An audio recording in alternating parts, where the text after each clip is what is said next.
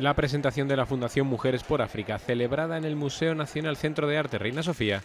concitó a diversas personalidades del mundo de la política, los medios de comunicación y el deporte. La fundación, presidida por Su Alteza Real la Reina Doña Sofía, también tuvo el apoyo del Real Madrid como institución, con la participación del presidente Blanco Florentino Pérez en calidad de patrón y de Xavi Alonso, que ha sido elegido embajador de esta nueva organización junto a otro deportista de prestigio mundial como Pau Gasol un acto emotivo, tras el cual el jugador blanco habló así de la situación que tienen en la liga. Nosotros vamos a lo nuestro, independientemente de, la diferencia que haya, tampoco eso nos tiene que, cambiar la manera de hacer las cosas y hay que seguir el mismo camino, de ir poco a poco. Eh, ahora pues eh, tenemos unas semanas con menos partidos y de, de, ir ganándolos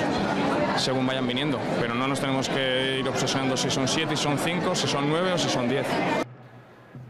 Eso en lo que respecta a la Liga, pero en menos de dos semanas vuelve a la actualidad deportiva la Liga de Campeones. El mediocentro madridista no tiene preferencia a la hora de levantar uno de los dos títulos.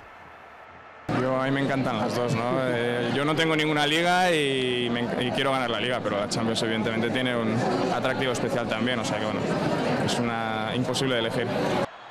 No quiere elegir Xavi entre uno y otro, aunque intentarán conseguir ambos. Para ello, y de la mano de José Mourinho, todo el vestuario tiene muy claro cómo jugar de aquí a final de temporada.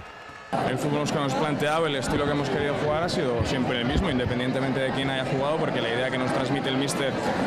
eh, juguemos quienes juguemos, el sistema que juguemos, es de, ir a ganar los partidos, mandando, intentando tener el control del partido, que es como mejor se, se pueden conseguir los tres puntos